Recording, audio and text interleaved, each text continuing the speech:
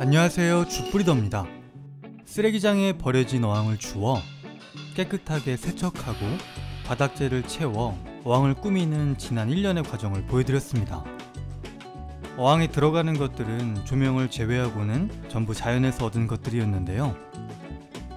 비료나 소일을 쓰지 않아 어항이 자리 잡는데 오랜 시간이 걸렸습니다. 이때가 20년 12월 모습입니다. 세종의 수초를 심어두었고 그대로 방치했어요. 조명은 따로 시간을 정하지 않고 제가 컴퓨터 할 때 켜주고 싶을 때만 켜줬습니다. 그래도 꿋꿋하게 잘 자리 잡아 주었고 4마리의 새우 일꾼이 투입되었습니다. 이 모습이 21년 10월 제법 안정화된 어항에 구피천에서 데려온 구피를 넣어 주었습니다. 이 모습을 보여드린 지 벌써 4개월이 지났네요. 방치형 어항은 또 어떤 모습이 되었을까요? 정글이 되었습니다. 후경에 배치한 나사말들이 러닝을 하며 어항을 점령해버렸어요. 비료 한 번 준 적이 없지만 나사말의 뿌리가 가득 번진 것 같네요.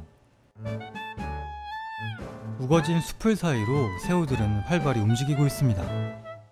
한동안 청소도 전혀 하지 않아 이끼도 많이 끼고 수초가 제멋대로 자라 있습니다. 물달팽이가 고군분투하고 있지만 오래되어 두터운 이끼는 제거하기 어렵습니다. 뒤쪽 벽에는 시리끼가 덕지덕지 붙었는데요. 새우와 물달팽이 연합군에도 자리 잡은 이끼에는 데미지가 없습니다. 오늘은 거의 4개월 만에 어항 정리를 해줘야겠어요. 검정말들은 어떻게 정리를 해줘도 줄기 윗부분에만 잎을 틔우면서 수면으로 누워버리더라고요. 아마 강한 빛을 좋아해서 그런 것 같은데 정신없이 보이니까 좀 뜯어내겠습니다.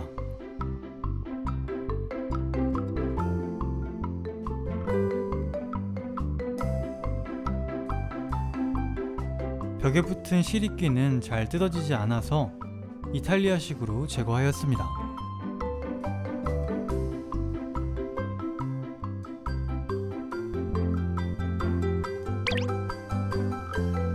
유리는 매직 블록으로 문질러 줄게요.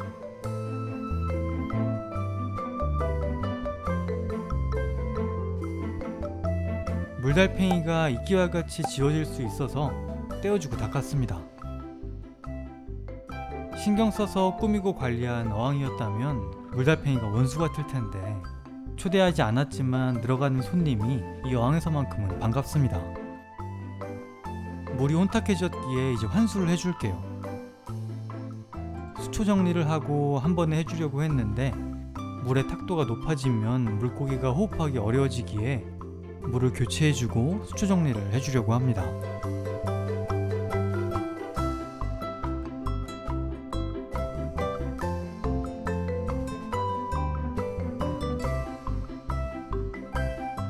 구멍 뚫은 페트병에 물을 부어주면 바닥재가 뒤집어지지 않게 물을 넣어줄 수 있어요.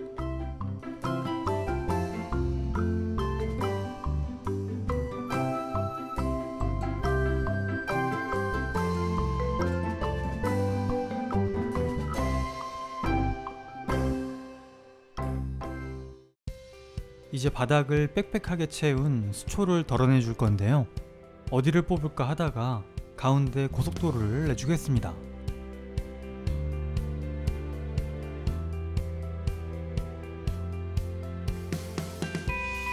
두 번째 수초에서 일이 커지겠는데 라는 생각이 강하게 들었어요.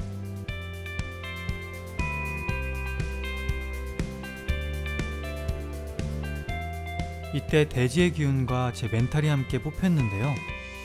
이제는 캡틴 플래닛이 와도 되돌릴 수 없습니다.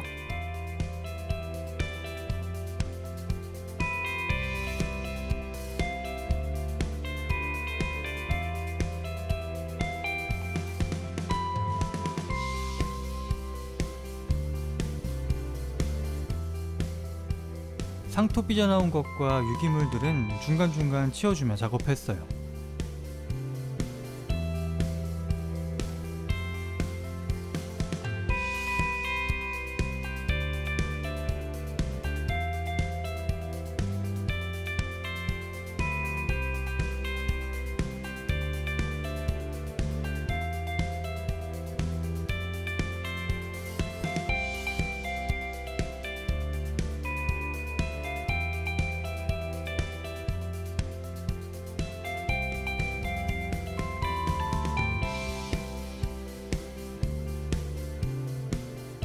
유기물이 이렇게 쌓였다니 비료 안 줘도 식물들이 번성한 이유가 있었네요.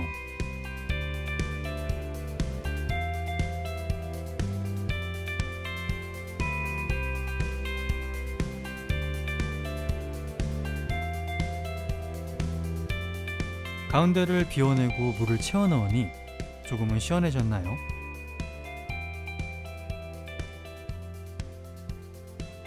나사마를 뽑아보니 그 속에서 토종 헤어글라스들이 꿋꿋하게 자라고 있더라고요. 오늘의 수초 정리는 여기까지만 해야겠어요. 아마 봄이 되면 새로운 수초를 뽑아와서 변화를 줘봐야겠습니다. 고속도로만 냈는데 풀떼기가 이렇게 나왔네요. 구피는 수컷 두 마리였는데요. 너무 싸우는 바람에 한 마리는 분리시켜줬어요. 외로워하는 수컷을 위해 암컷을 넣어주려고 하는데요. 역시 구피천에서 채집하였고 제 실해 보이는 암컷을 데리고 왔습니다. 데리고 온 암컷은 별도의 수조에서 3개월가량 축양을 하였고요. 긴 기다림 끝에 드디어 합사하게 되었어요. 블루와 레드 조합으로 오 필승 코리아항이 되었습니다. 잘 어울리는 한 쌍이 되겠죠? 성격 급하신 분들은 지금의 전개가 고구마일 것 같아요. 그래서 고구마 여과기를 설치해 볼게요. 버리는 페트병을 주워다 앞부분만 잘랐어요. 이렇게 끼워주면 고구마 요각이 완성입니다. 고구마는 수염 같은 뿌리를 내며 자랄 텐데요. 물속 영양분을 흡수해서 이끼가 자라나는 것을 어느 정도 막아줍니다. 일단 새우는 새로운 일감을 발견하고 찾아왔네요. 워크홀릭이라 다른 녀석들도 금방 모여듭니다. 구피가 쌍을 이루어 새끼를 낳을 때 고구마 열각의 뿌리가 은신처 역할을 해주었으면 좋겠네요. 모든 것을 주워서 만든 어항 제멋대로 만들어서 그런지 그곳에 사는 수초와 생물들도 맘대로 지내고 있습니다. 크게 신경을 쓰지 않고 내버려 두어도 아주 작은 공간이라 할지라도 느리지만 분주하게 생물들은 제 역할을 하며 각자의 삶을 살아가고 있네요.